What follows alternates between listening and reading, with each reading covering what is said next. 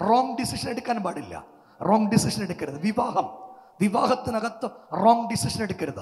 വീട് വെക്കുമ്പോൾ wrong decision എടുക്കരുത്. പാർട്ട്ണറെ ചൂസ് ചെയ്യുമ്പോൾ റോങ് ഡിസിഷൻ എടുക്കരുത്.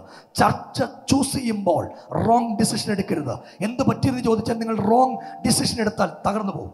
റോങ് ഡിസിഷൻ എടുക്കരുത്. ഞാൻ പറഞ്ഞു മാനുഷികമായുള്ള ആളുകൾക്ക് നന്മയുണ്ട് ഐശ്വര്യമുണ്ട് എല്ലാമുണ്ട്. പക്ഷേ കൃപയിലുള്ള ദൈവമക്കൾക്ക് നന്മയുണ്ട് ഐശ്വര്യമുണ്ട് അനുഗ്രഹമുണ്ട്. ഇത് തമ്മിൽ ഒരു വ്യത്യാസമുണ്ട്. അത് കേൾക്കണം നിങ്ങൾ. ഇത് തമ്മിൽ ഒരു വ്യത്യാസമുണ്ട്. ലോക മനുഷ്യനുള്ള നന്മയും ദൈവ മക്കൾക്കുള്ള നന്മയും തമ്മിലുള്ള വ്യത്യാസമുണ്ട്.